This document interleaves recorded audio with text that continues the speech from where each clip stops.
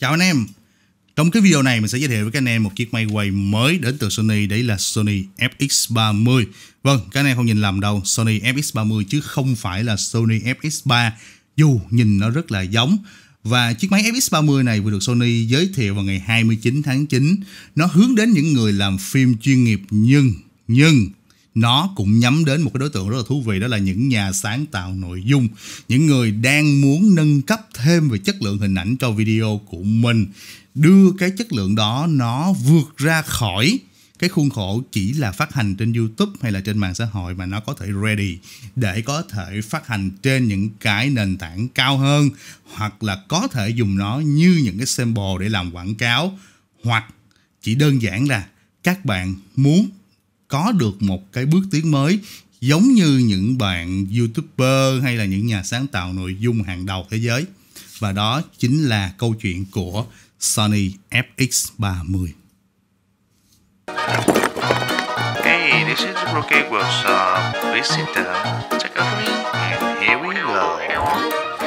Nếu mà để nói hết tất tần tật về một chiếc máy như là Sony FX30 trong một video thì gần như là không thể vì nó có rất là nhiều thứ phức tạp nhưng mà trong nội dung của cái video này mình xin chia sẻ với các bạn nhanh về cái việc là Sony FX30 nó có cái gì, sức mạnh của nó ra sao và vì sao nó lại hợp đối với mình, vì sao mình lại thích nó, vì sao nó lại là một cái thứ vũ khí rất là đặc biệt của những bạn mà làm content creator, những bạn làm sáng tạo nội dung và đặc biệt là những bạn làm solo content creator. Muốn cái chất lượng hình ảnh của mình nó lên một cái tầm cao mới thì không gì phù hợp hơn là con Sony FX30 này vì đây nó sẽ gần giống với là một cái postcard chia sẻ hơn là một cái review chi tiết nhưng nó cũng sẽ có những cái thông tin chi tiết đủ để chúng ta hình dung được vì sao FX30 này nó là con bài chiến lược đối với lại các content creator của năm nay và năm sau. Rồi, đầu tiên, đầu tiên FX30 này nó có ngoại hình không khác gì con Sony FX3 À Tương đồng. Và nó chỉ khác duy nhất một thứ đó là FX30 sẽ sử dụng cảm biến crop, Cảm biến APS-C và quay ở chuẩn Super 35 Cái à, định dạng này thì nè, lát hồi phía giữa studio, phía giữa cái video mình sẽ nói.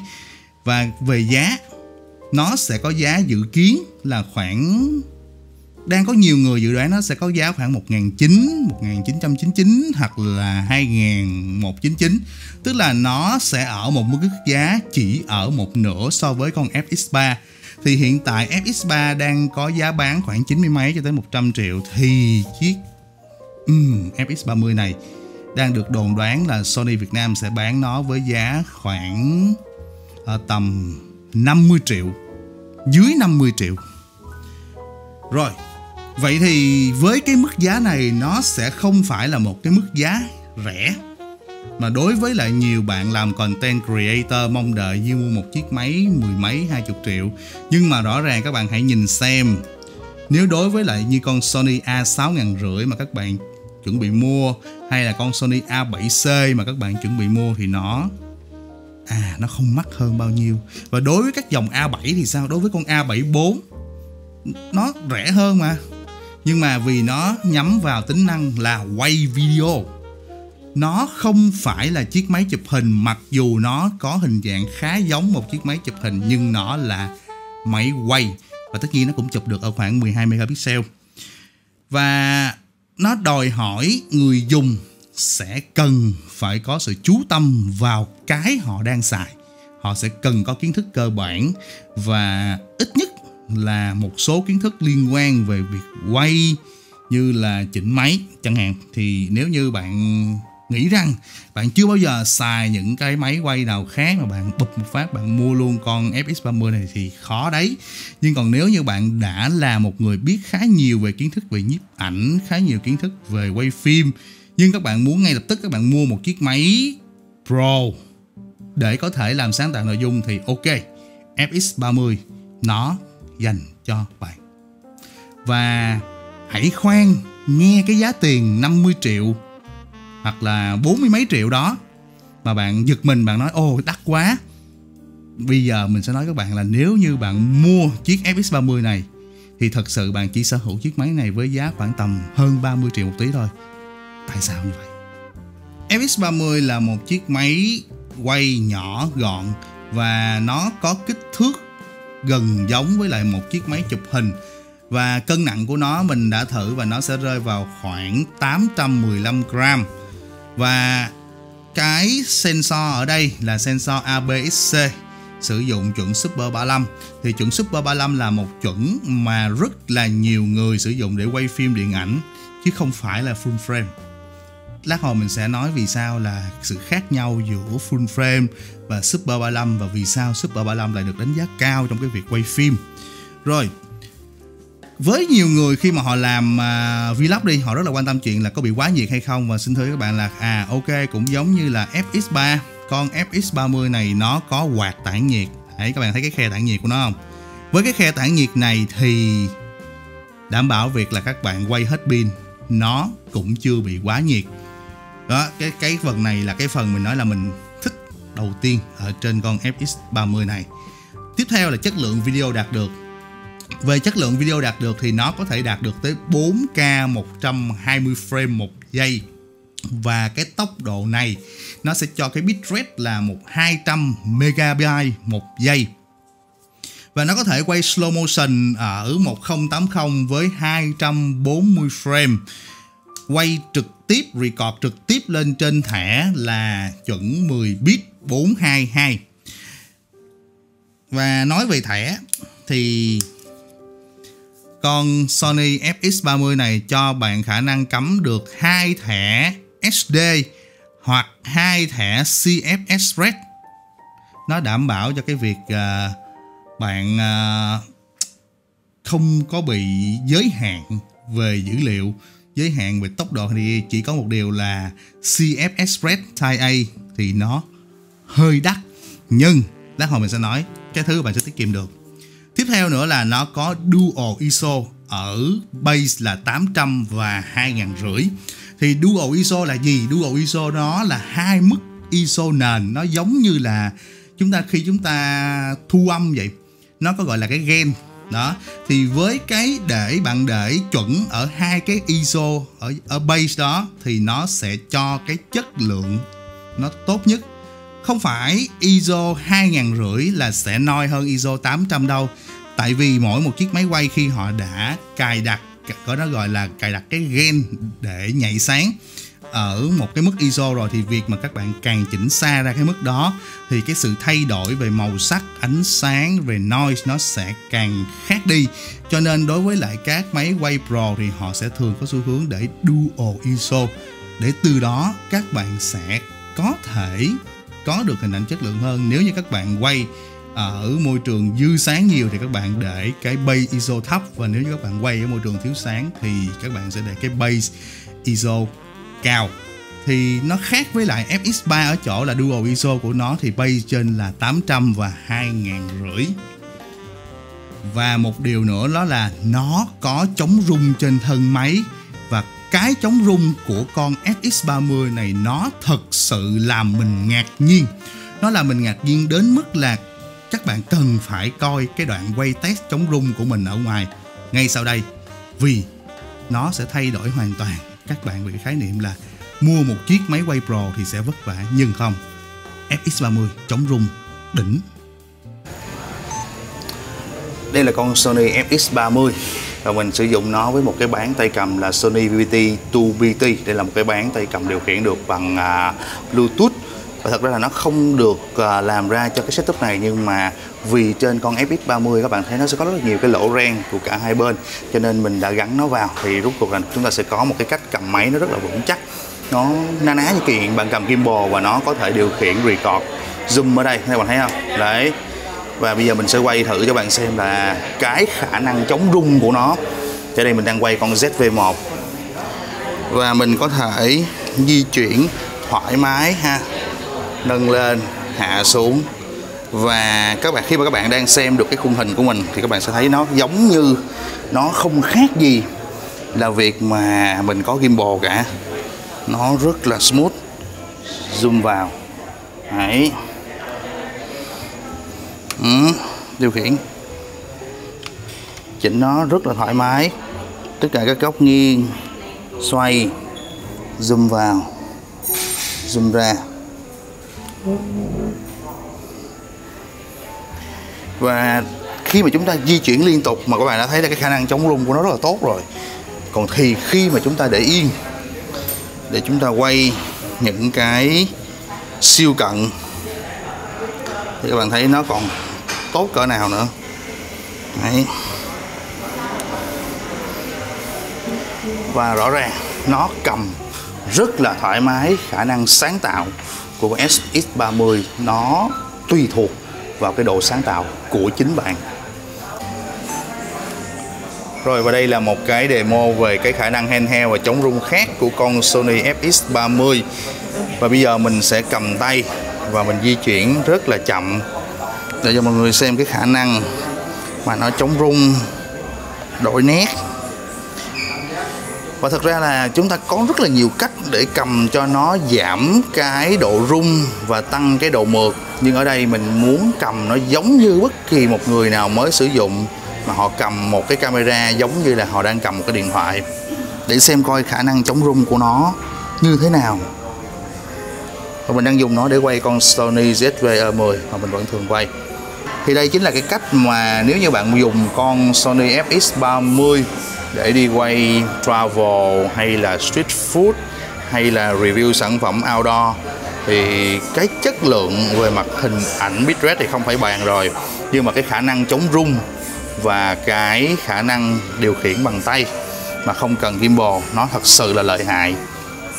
Tại vì bản thân con Sony FX30 này nó có chống rung 5 trục ở trên thân máy và đi kèm với nó là bạn có thể mua cái ống kit rất là rẻ. Cái ống kit mình đang sử dụng đây nó chỉ tầm khoảng 2 triệu thôi. Và nó cũng có chống rung ngay trên ống kit này luôn. Và vậy thì đây chính là cái hiệu quả mà Sony FX30 đem lại cùng với cái ống kit. Và bây giờ chúng ta sẽ test cái khả năng chống rung của con Sony FX30 bằng cách là mình vừa đi bộ vừa quay. Thì mình đang cầm cái máy Sony FX30 thông qua cái tay cầm VBT to BT của Sony luôn. Và đây là một cái tay cầm Bluetooth.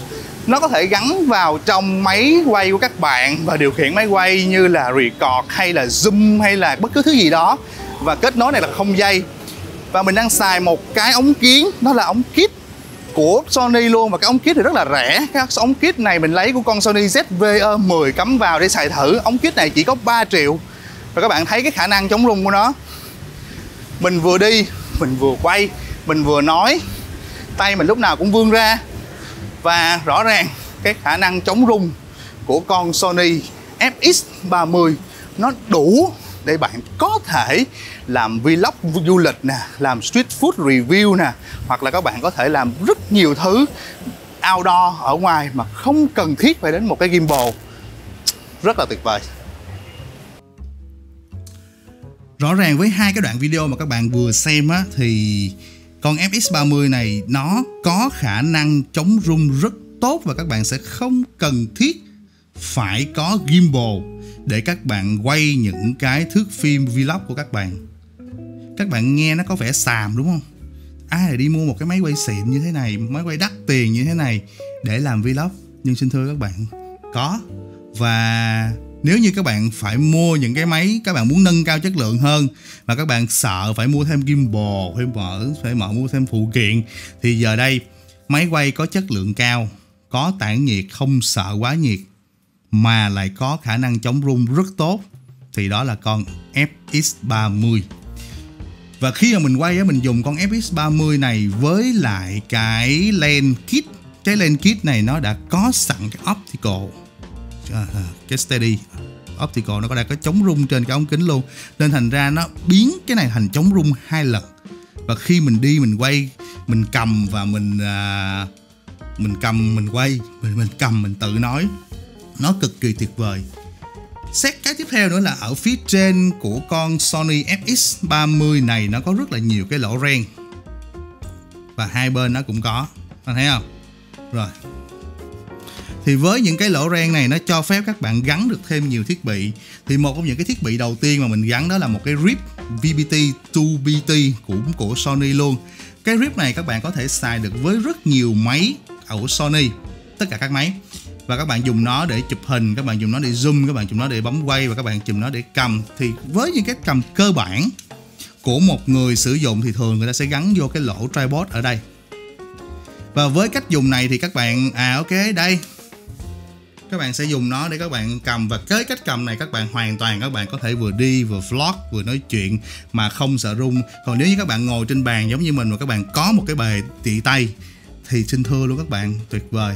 Các bạn chỉ có mỗi tay thôi, chứ không thể nào mà nó có thể rung được. Chưa hết. Vì đây là thế giới của video frame dọc nên việc cái bán tay cầm này nó sẽ xoay được. Và khi mà nó xoay như thế này thì có phải là các bạn sẽ có thể làm được video khung dọc không đấy, các bạn thấy không? Các bạn thấy video khung dọc đây, như mình đây mình cầm đây, để mình làm video khung dọc. Thì đó là cái cá nhân của mình rất là thích, vì nó tiện. Chưa hết. Đối với lại nhiều anh em khi mà đi ra ngoài, nhất là đợt vừa rồi á, có cái đợt mà đi cái sự kiện của Apple á, sau khi cu hiệp bên tinh tế đi và nhìn, sau đó nhìn thấy là market rallies của MKBHD á uh, channel MKB HD bây giờ chắc đổi tên lại thành Marcus rally luôn rồi. Đấy thì cầm cái máy red đi quay và rõ ràng đấy là một uh, youtuber. Họ đi quay và hoàn toàn họ có thể dùng máy xịn và nếu như Việt Nam mình cũng có nhiều anh em cũng có thể sử dụng máy xịn để cho chất lượng cao hơn thì nó rất là tốt. Thì một trong những cái của mình thấy ở đây là đối với lại con Sony FX30 nó có cái lỗ ren bên hông. Bạn thấy không? Và mình sẽ tận dụng nó để mình gắn cái mình gắn cái à, grip này vào. Thì lúc mà mình gắn cái grip này vào á thì nó sẽ thành như thế này. Và khi các bạn cầm thì các bạn có thể các bạn có hai cái tay cầm không? Các bạn thấy không? Một tay cầm bên đây và đây. Và với cái cách cầm này cộng với lại cái khả năng chống rung của con FX30 các bạn đã, đã được xem rồi đó thì các bạn thấy là đó. Nó rất là smooth rất là đã cho các thao tác của các bạn tất nhiên nó nếu như các bạn cần nó smooth hoàn toàn 100% thì các bạn vẫn phải đi tìm đến gimbal. Nhưng nếu như với những cái shoot quay mà các bạn đi quay street food đi quay du lịch hay là đi quay uh, cá nhân cần gọn nhẹ thì như đây thôi là đã quá đủ. Thậm chí á, Sony họ còn bán một cái đồ giống như này để có gắn uh, thêm được nhiều micro. Mà mình chưa cần nói tới cái này lát hồi mình sẽ nói tới cái này sau thì cái này khi mà gắn vô các bạn các bạn cầm được cái máy này nó rất là đã. Và nếu như các bạn không có cái đó thì sao bạn? Không sao cả. Các bạn có thể dời cái grip này lên trên đầu để các bạn cầm nó như một cái máy quay bình thường khác. Các bạn xem, đã không? Rất là đã. Rất là dễ chuyển sang cái tư thế vô phim dọc để chúng ta quay. Rất là tuyệt vời. Cùng một chiếc máy chỉ thêm một cái bán tay cầm. Và cái bán tay cầm này Sony họ đang bán với giá là 2 triệu chín. Và thường xuyên có những cái voucher giảm giá xuống còn mức giá 2 triệu và thậm chí thường xuyên tặng. Nếu như các bạn mua máy luôn.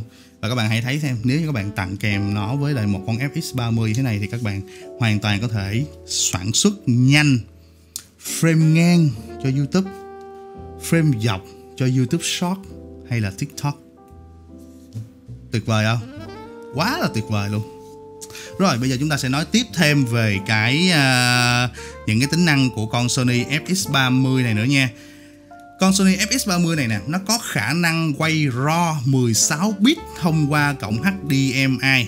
À, với cái RAW 16 bit đó thì cần phải record qua cổng HDMI và cổng HDMI ở trên con Sony FX30 này là so HDMI full size rất nhiều chiếc máy à, không có cổng HDMI full size mà nó chỉ có cổng mini HDMI thì nó sẽ không được như là con Sony FX3 ở đây bạn sẽ có cổng HDMI full size.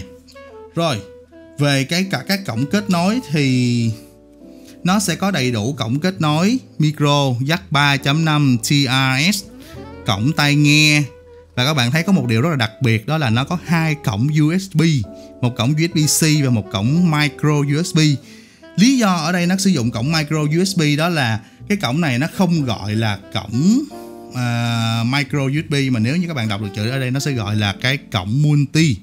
Cái cổng này á, nó được dùng để các bạn kết nối với lại những cái thiết bị điều khiển như là micro hay là các tay cầm mà điều khiển. Thì có những tay cầm điều khiển Pro hơn cái tay cầm này và kết nối bằng cổng multi interface. Đó là lý do tại sao mà mình khá là thích Sony ở chỗ là họ vẫn cố gắng, họ giữ cho bằng được cái cổng multi interface đó lên những chiếc máy của họ, kể cả là chiếc máy phiên bản thấp nhất, có giá thấp nhất chỉ tầm khoảng 12 13 triệu thôi thì họ vẫn duy trì cái cổng multi interface thì cái cổng multi interface đó ngoài cái cắm qua cổng micro USB thì nó còn đến từ cái cổng uh, hot shoe.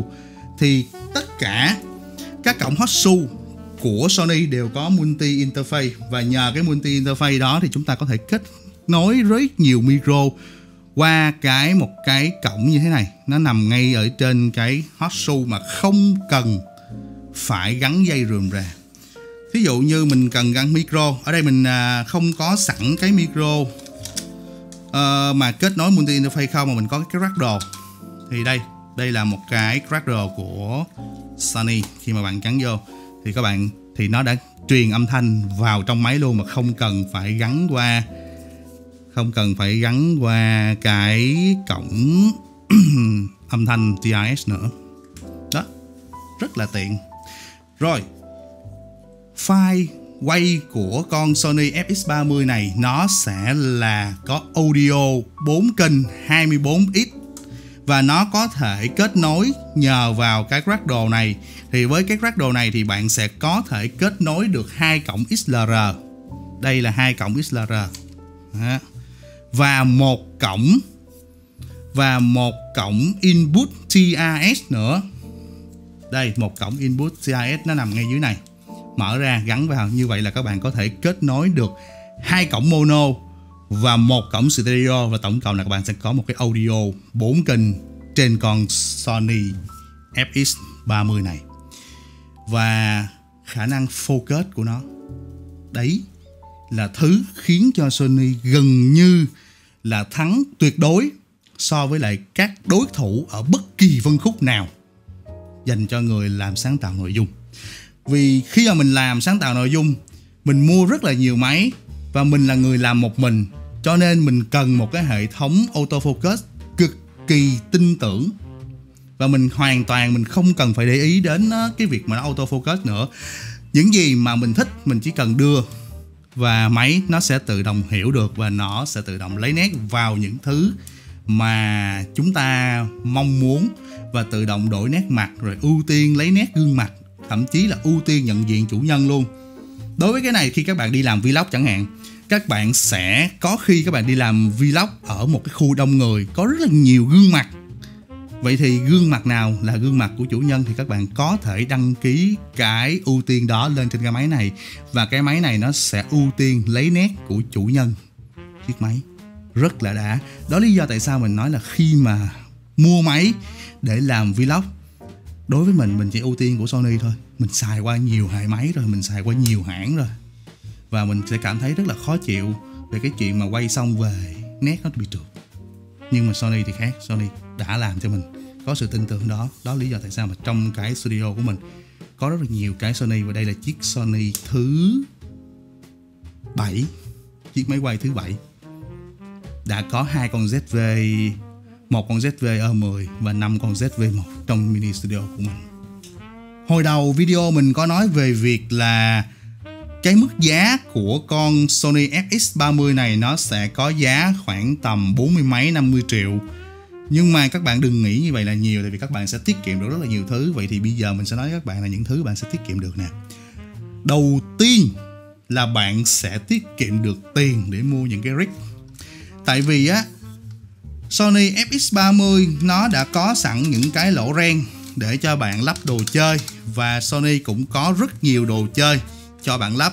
Thành ra là khi bạn mua con Sony FX30 này, bạn sẽ không cần mua cái rig đó nữa và nó sẽ giúp bạn tiết kiệm được 2 triệu rig cho Sony FX30 xài chung với lại rig của Sony FX3 và nó đang có giá là 89 đô cái tiết kiệm tiếp theo là một cái mình đảm bảo rằng các bạn sẽ bất ngờ.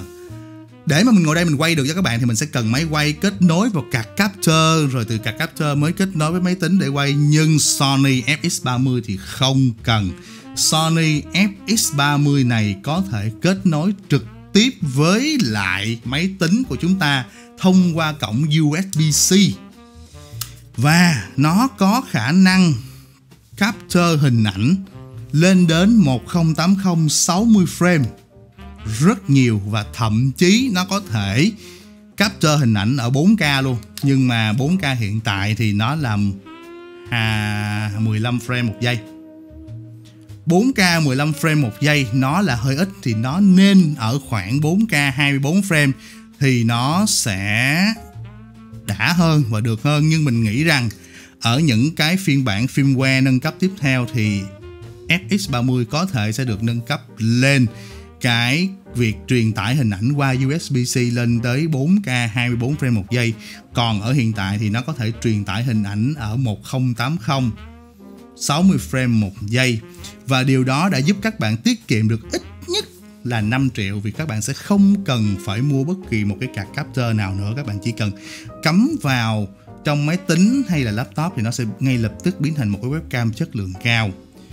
Điều này có ý nghĩa rất lớn nếu như bạn dùng con FX30 này để làm những cái chuyến đi, những cái trip, những cái sự kiện. Bạn hoàn toàn bạn có thể truyền tải hình ảnh về ngay lập tức mà không cần những cái phức tạp rườm rà. Chỉ cần dây cáp USB-C là xong. Và cái tiết kiệm này để vừa các bạn vừa tiết kiệm thêm được khoảng 5 triệu nữa. Mình có nói rằng FX30 này nó là một cái bước đệm để cho anh em ra biển lớn. Tại vì thế này khi mà chúng ta sử dụng thiết bị mà bị giới hạn á, thì đến khi mà chúng ta đụng chuyện, chúng ta không thể nào vươn mình được nữa. Nhưng mà khi chúng ta sử dụng thiết bị mà nó ở cái tầm cao hơn, rộng hơn, và nó có, gọi là nó có chừa cái khoảng không để các bạn tiến bộ hơn, thì ngay khi các bạn có thời cơ thì các bạn hoàn toàn các bạn có thể tiến bộ ngay lập tức. Mình lấy một cái ví dụ, cái ví dụ này là do mình tưởng tượng ra và mình nghĩ rằng maybe có thể nó sẽ trở thành sự thật là FX3 con Sony FX3 nó đã có được chứng nhận của Netflix và rất là nhiều nhà làm phim đã bắt đầu sử dụng Sony FX3 để sản xuất các phim tài liệu dạng như là du lịch, street food hay là những cái phim tư liệu cá nhân. Thì chúng ta hoàn toàn chúng ta có thể mong chờ FX30 nó cũng sẽ được Netflix chứng nhận và khi Netflix chứng nhận thì biết đâu đấy ở Việt Nam chúng ta sẽ có người sẽ sử dụng FX30 để làm các series phim về du lịch, những cái series phim tài liệu, những series phim về food và nó sẽ dễ dàng lên được Netflix. Tức là đây là cái nó chưa xảy ra nhưng là nó là cái có thể xảy ra với khả năng cao và không chỉ riêng về Netflix mà có thể là truyền hình, kỹ thuật số hoặc là quảng cáo. Nên việc là rất là nhiều bạn làm review rất là giỏi, rất là nhiều bạn làm youtuber rất là hay.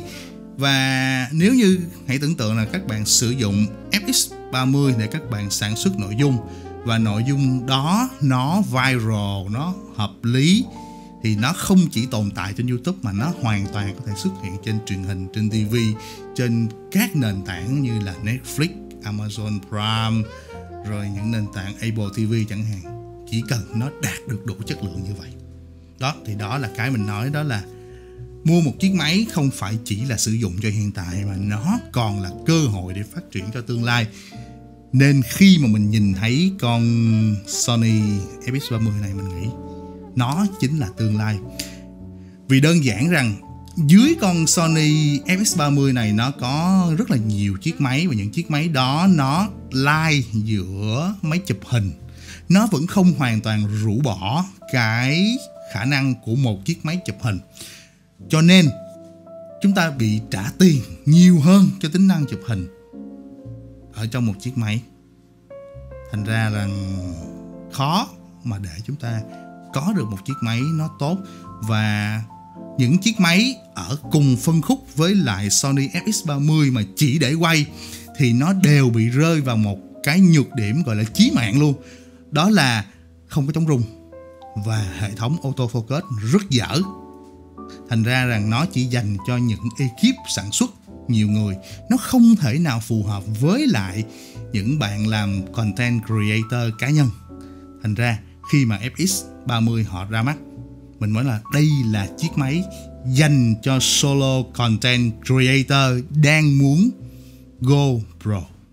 Một trong những lợi điểm nữa mà khi mà mình lựa chọn con à, Sony và hệ thống của Sony đó là Sony họ trung thành với lại cái email này trong suốt hơn 10 năm qua. Thật sự như vậy. Và vì cái khả năng đồng nhất của cái Mao trong suốt 10 năm qua nó là cái động lực để những hãng thứ ba họ có thể sản xuất được rất nhiều phụ kiện cho Sony. Trong khi đó ở những hãng gọi là đối thủ hoặc là ngang ngửa với Sony thì họ lờ mờ trong cái việc uh, tạo ra một cái hệ thống phụ kiện. Có hãng á, thì đi trước tiên phong nhưng sau đó thất bại và sau những lần thay đổi và phản bội người dùng với rất là nhiều cái loại ngàm khác nhau, và bây giờ thì họ vẫn lừa được người dùng mua những đồ giá mắc. Và có những hãng thì họ, bây giờ họ mới trở mình, có nghĩa là họ đi chậm hơn những 10 năm. Và có những hãng thì họ thật sự là họ đang làm theo một cái format khác, nhắm đến những cái đối tượng khách hàng cao hơn. Và không ai nhắm đến những cái đối tượng khách hàng ở tầm trung mà có nhiều phụ kiện như Sony và để trước khi ra mắt con Sony FX30 này nó cũng đã gây ra một sự ngạc nhiên đối với lại cái người dùng rằng họ đã ra mắt ba cái ống kiến ABS-C mới đó là con 1020 f4, 15 f1.4 và 11 f1.8. Ba cái tiêu cự này nó rất là lạ lùng đối với lại dân chụp hình. Và tất cả các bạn chụp hình, gọi là, có kinh nghiệm, thì khi mà các bạn nghe tới ba cái tiêu cự này, các bạn, ủa, sao nó nó lệch lệch? Nhưng mà khi các mình cầm trong tay con Sony FX30 rồi thì mình sẽ hiểu rằng, ok, đây là ba cái ống kiến dành riêng cho con FX30 và cái tiêu cự thiếu hụt của nó là như vậy nè các bạn. Bên trong con Sony FX30 này, nó có khả năng chống rung trên body và nó có khả năng chống rung điện tử. Cái chống rung điện tử này có nghĩa là nó sẽ crop cái sensor của bạn đi một tí và dùng các thuật toán trí tuệ nhân tạo để chống rung và nó làm cho khung hình của bạn khá là tỉnh. Và khi mà nó crop sensor đi một tí có phải là các bạn bị mất đi một uh, ít cái góc nhìn không? Và việc mất đi một ít đó thì nó sẽ bù lại bằng cái tiêu cự. Nên do đó là thay vì sử dụng ống kiến 12 24 thì đó là 10 20 thay vì sử dụng ống kiến là tiêu cự là 16 thì nó sẽ sử dụng ống kiến là 15mm và thay vì sử dụng ống kiến tiêu cự là 12mm thì ống kiến mới ra mắt nó là 11mm nên do đó là việc mà các bạn gắn những ống kiến đó vào trong con Sony FX30 này thì các bạn có full tính năng chống rung rất là tuyệt vời, nhưng các bạn vẫn giữ được cái góc nhìn giống như là góc góc mà các bạn đã từng quen trên những cái hãng máy khác. Thì đó là điểm mình đánh giá rất là cao về cái tính đồng nhất trong sản xuất phụ kiện và thiết bị của Sony. Khi họ chuẩn bị họ ra mắt chiếc máy này thì họ đã lobby trước cái những thiết bị đó những cái ống kiến uh, ờ, ABS-C đó. Và khi mà mình cầm vào những ống kiến ABS-C đó mình mới nói câu chuyện là tại sao lại có những cái ống kiến drop mà nó lại làm bằng nhựa, nhẹ như thế này, nhựa nhưng mà nhựa cao cấp nha, nó rất là nhẹ và nó rất là đắt. Các ống kiến này đều có giá tối thiểu là khoảng 15 triệu 15 triệu và với 15 triệu đó thì nó đã tương đương với lại con ZVE10 cũ rồi. Thì không thể nào mà đây là cái ống kiến mà dành cho con ZVE10 được. Nó phải dành cho một cái giống như là con Sony FX30 này thì quả thật, họ ngay sau đó, một tháng sau thì đã có con Sony FX30 và con Sony FX30 này nó tận dụng tốt cái ống kiến kia là vì cả hệ thống rất là nhẹ.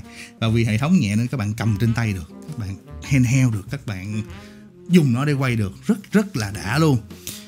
Và đó là chính lý do tại sao mà mình nói rằng ok Sony FX30 cộng với lại ba cái lens APS-C mưa mới vừa ra mắt 10, 20, 15 và 11 mm. Nó là những cái combo all in one, dành cho những nhà sáng tạo nội dung mà muốn đi. Cái hình ảnh của mình nó nâng cao hơn, chất lượng hơn. Vấn đề tiếp theo là một vấn đề mình nghĩ rằng sẽ gây tranh cãi, đó là FX30 nó chỉ là crop, và mình đánh giá cao cái crop này hơn là các bạn sử dụng full frame. Rồi, chỗ này sẽ cực kỳ tranh cãi đây. Tại sao crop lại tốt hơn full frame? Quá kỳ các bạn nên nhớ rằng hầu hết những các bạn mà đang sử dụng những cái máy quay kiểu như con uh, Sony A7 hay là FX30 hay là Sony ZV-10 toàn là những bạn đi từ nhiếp ảnh các bạn đi lên không à. Và khi các bạn đi từ nhiếp ảnh đi lên thì trong nhiếp ảnh full frame là cái mốc đầu tiên các bạn phải đạt được khi các bạn làm nhiếp ảnh. Tức là bạn phải làm gì làm bạn phải lên một cái máy có sensor lớn hơn. Rồi nếu như các bạn có điều kiện hơn và nghề nghiệp các bạn cho phép thì các bạn sẽ tiến lên medium format cơ bản ban đầu điện ảnh và nhiếp ảnh nó đã khác nhau. Đối với nhiếp ảnh là các bạn chụp trên một cái màn phim lớn và sau đó các bạn rửa ra một tấm ảnh nhỏ để các bạn xem. Đừng nói mình nói bậy, điều này là chính xác.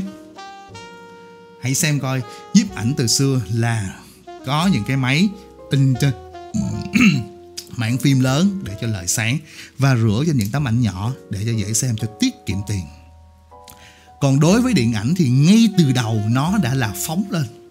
Nó đã là phóng lên. Và vì nó đã phóng lên thì nó luôn là ghi hình trên những cái frame nhỏ để tiết kiệm chi phí và phóng lên màn ảnh lớn để coi cho nó đã. Thì hai cái sự nghịch lý này nó dẫn đến câu chuyện là đối với lại bên nhiếp ảnh thì ảnh là ảnh tĩnh cho nên là cái chủ thể nó cần phải bứt ra khỏi được những cái phụ thể xung quanh. Cho nên là việc mà cái con sensor nó càng lớn thì nó sẽ càng làm điều đó tốt hơn. Nhưng mà đối với lại nhiếp ảnh thì ngược lại, đối với lại sensor mà càng lớn thì nó sẽ tạo ra cái vùng out of focus, cái vùng bokeh nó càng nát. Nó quá nhòe nhòe đi. Và việc nhòe nhòe đó nó khiến cho người xem và khiến cho người sản xuất điện ảnh, người sản xuất phim họ không thể nào đưa vào đủ cái nội dung mà họ cần làm. Và việc họ cố gắng, họ khép khẩu sâu hơn thì nó sẽ bị lãng phí tài nguyên ống kính. Cho nên điều đó là cái điều mà dân làm phim họ phải cân đo đong đếm.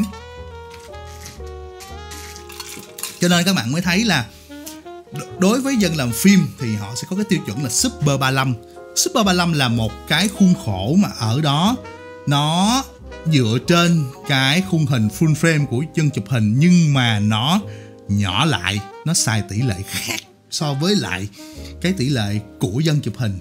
À tại vì màn ảnh rộng mà, nó nó bỏ phía trên đi. Đó.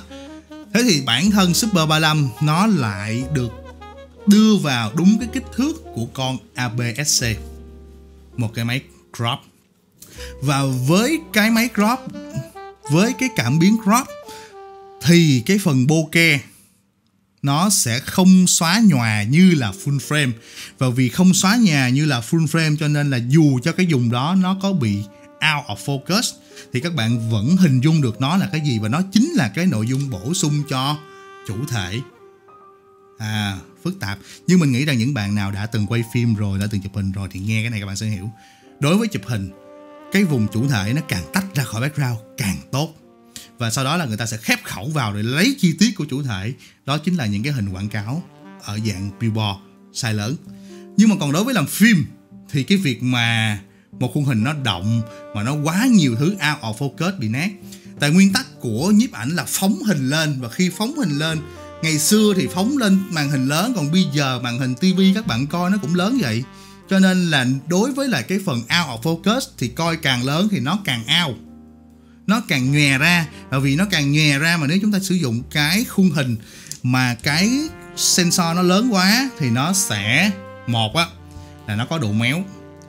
Hai là nó sẽ bị quá nhòe ở cái phần background, nó dẫn đến không không có tạo được cái sự bổ sung nội dung vào trong chủ thể. Cho nên, sensor crop nó là một cái khắc phục được những cái thứ đó và cái chuẩn Super 35 nó rất là đẹp. Đẹp ở chỗ là nó sẽ giúp cho các bạn có cái khuôn hình thẳng thớm, nó sẽ giúp cho bạn thói quen thay đổi trong cái chụp hình sang làm phim. Nó sẽ tạo ra được những khuôn hình có tính cinematic hơn, nó có nội dung hơn, các bạn sẽ tập trung vào câu chuyện kể chuyện hơn hơn là tạo ra những khuôn hình động từ cái thói quen chụp ảnh tĩnh ở nhiếp ảnh thì nên mình mới nói rằng khi mà hiểu được chuyện đó rồi thì mình thấy cái chuyện là sensor crop đối với một chiếc máy này mình còn thích hơn là đối với lại sensor full frame. Tại vì nó giàu tính kể chuyện hơn và nó tiết kiệm tiền hơn. Đối với một cái body FX3 khi các bạn mua full phụ kiện dành cho FX3 để các bạn có thể sản xuất được thì nó sẽ rơi vào khoảng tầm 250 triệu. Còn nếu như các bạn mua được full phụ kiện cho con FX30 này thì các bạn có thể sản xuất được gọi là đã.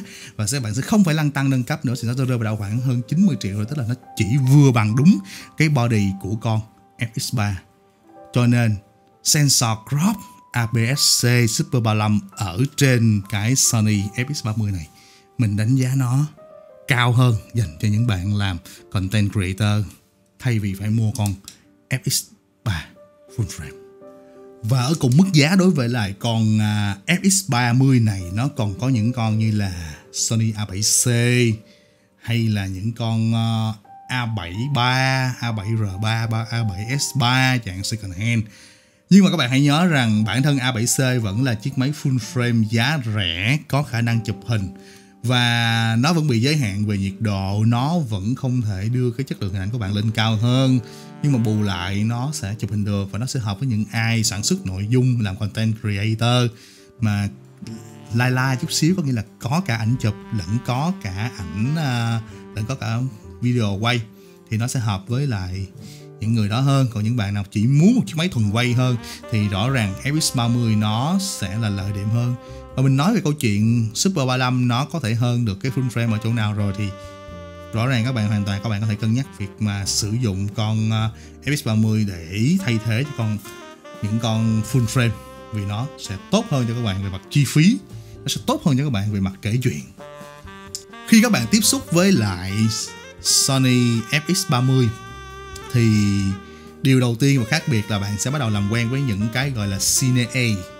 A ở đây là E và Y thì nó sẽ khác với câu chuyện là ở những cái máy quay dạng máy ảnh như là à, mấy con ZV1, ZV-10, Sony A7 đó sẽ khác những con đó ở chỗ là bạn chỉ quan tâm là ISO, tốc độ, khẩu độ rồi sau đó là những cái picture profile rồi những cái gamma lock này kia. Có nghĩa là những cái đó nó rời rạc nhau. Thì đối với lại con FX30 này thì vì nó là dòng Pro nó thừa hưởng nó là dòng thấp nhất trong cái dòng Cineline là trên nó thì có FX3, FX6 và FX9 thì nó cũng phải thừa hưởng lại những cái cân chỉnh đó vì nó sẽ có là cái Cine A E E thì A ở đây nó chính là Exposure Index. Thì nguyên một cái Exposure Index này thì Sony đóng gói nó nó gọi là Sony Cine A. Thì nó sẽ bao gồm cả những cái việc tinh chỉnh như là bay ISO nè, gamma nè, picture profile nè, lush nè và iris tức là khẩu độ, rồi tốc độ, rồi và uh, cái ờ, uh, picture style. Thì tất cả những thứ đó nó đóng gói lại thành một cái thứ liên quan thì tại sao phải đóng gói lại như vậy? Tại vì đối với lại những dân làm phim thì họ không phải chỉ sử dụng một camera, mà họ có thể sử dụng nhiều camera. Và chiếc Sony FX30 này nó được hiểu như là một camera backup cho FX3 cho FX6 và với một cái camera backup như vậy thì không thể nào mà chuyện bạn phải chỉnh nó quá khác so với cái kia, với những camera khác. Nên việc bạn chỉ cần cài đặt cái CNA nó giống như là các camera khác về cái bay ISO, gamma, picture profile hay lush.